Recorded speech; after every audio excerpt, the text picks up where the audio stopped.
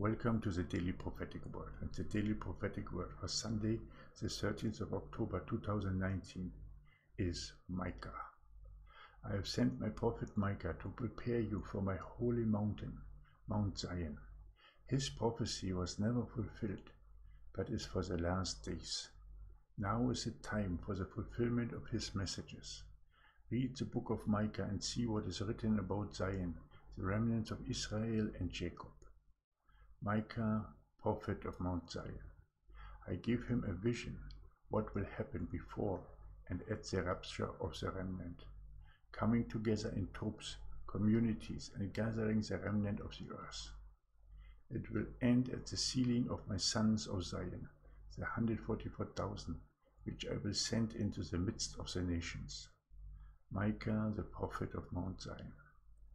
Micah is a witness to my great exodus my holy mountain, Mount Zion, the remnants of Israel and Judah, the gathering of the multitude and the first dominion. Listen to the words of Micah, my prophet of Zion. And this was a daily prophetic word given by the Holy Spirit for Sunday, the 13th of October 2019. Read the book of Micah and see what the Lord is saying about Mount Zion and how it will fit in perfectly together with what we are telling you and teaching you to come out of the world, to be separated, to establish communities of love and righteousness in your neighborhoods.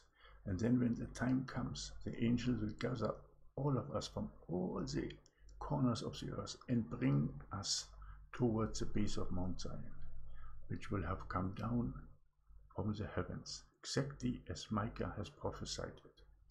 All of Micah will be fulfilled. So read it and get clarity about what we are teaching. And then spread the word. Share our videos with your friends and families. Discuss it. Come forth, ask your question. For questions, please send them to triplegrace55 at gmail.com. And then engage and come out of the world and out of Babylon and walk the path towards the holy mountain by establishing societies of the rose in your neighborhood and doing the daily sacrifice of love, coming together in love, unity, and support, sharing resources and supporting one another so that we can survive the seal tribulation that is at hand and then be part of the multitude closed and wide at the sixth seal, the base of Mount Zion, where we will be raptured into paradise and where we will be with Abba Father, Lord Jehovah, and his only begotten Son Jesus Christ forever and ever. Thank you that you have listened to this daily prophetic word. My name is Michael. I'm the founder of Triple Grace and the Righteous Path Movement Foundation.